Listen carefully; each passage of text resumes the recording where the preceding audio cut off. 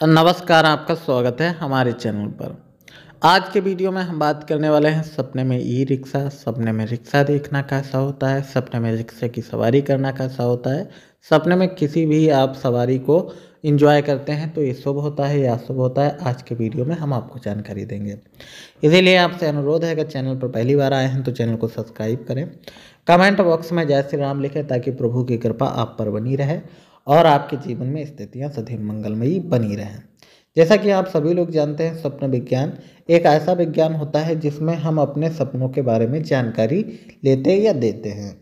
वहीं अगर स्वप्न विज्ञान की बात माने तो स्वप्न विज्ञान मानता है कि सपने हमारे भविष्य का दर्पण होते हैं।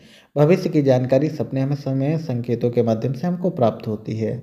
अगर आपको सपने में कोई ऐसी चीज़ दिखाई देती है जो आपके लिए काफ़ी सुविधावान है जैसे कि आपका रिक्शा हो गया, आपकी गाड़ी हो गई, आपका कोई भी वाहन हो गया जो आपकी यात्रा में आपको सहयोग करता है या आराम देता है। तो ये अच्छा सपना माना जाता है। जैसे कि अगर आप सपने में जैसे रिक्शा हो गया या आपका ऑटो हो गया या आपकी चारपाई व चारपाई व चार का कोई भी वाहन हो गया, जिसमें आप सवारी करते हैं और उसको आनंदित तरीके से जीते हैं या उसका खूब लुप्त उठाते हैं तो ये सपना अच्छा ही माना जाता है। ये सपना आपको बताता है कि आने वाले समय में आपकी जो भी जीवन यात्रा है, वो सुखदमय और मंगलमयी रहेगी। ये ज़रूरी नहीं होता है कि अगर आप सपने में रिक्शे वगैरह से दुर्घटना से का शिकार होते हैं तो आपके साथ कुछ गलत हो जाए। कभी कभी हमको सपने ऐसे ही आ जाते हैं। हालाँकि अगर आप सपने में देखते हैं कि आप किसी दुर्घटना के शिकार हो रहे हैं तो ये सपना थोड़ा चिंता का विषय उत्पन्न कर सकता है कि आने वाले समय में आपके साथ में छोटी मोटी गलत घटनाएँ हो सकती हैं।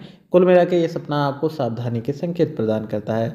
हालाँकि अगर आप सपने में ई रिक्शे पे सवारी कर रहे हैं और या कोई ऐसे वाहन पर सवारी कर रहे हैं जो आपको सिर्फ़ यात्रा का केवल माध्यम मात्र नज़र आता है तो ये सपना आपको बताता है कि आपकी यात्रा मंगलमयी हो सकती है।